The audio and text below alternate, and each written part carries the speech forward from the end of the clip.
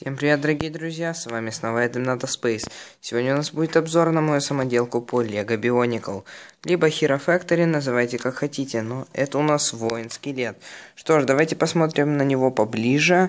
Сделал я его, это полностью мой кастом, как вы можете заметить. У него имеется меч ледяной меч такой вот я нашел, у меня завалялся, по-моему, из Hero Factory, точно не помню. А, одна ледяная энергетическая рука, по которой идет энергия.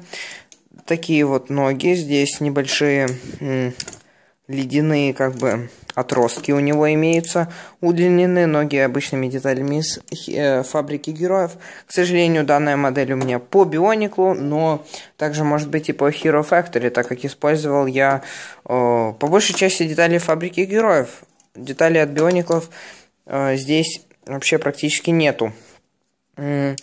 Вот такая вот у него рука имеется. Вторая энергетическая, как я уже сказал, у него имеются такие наплечники, которые также могут стать его джетпаком. Если мы их перевернем таким образом, мы можем заметить, что теперь они больше выглядят как летательный аппарат, с помощью которого наш воин может рассекать просторы ледяных ущелий и скал.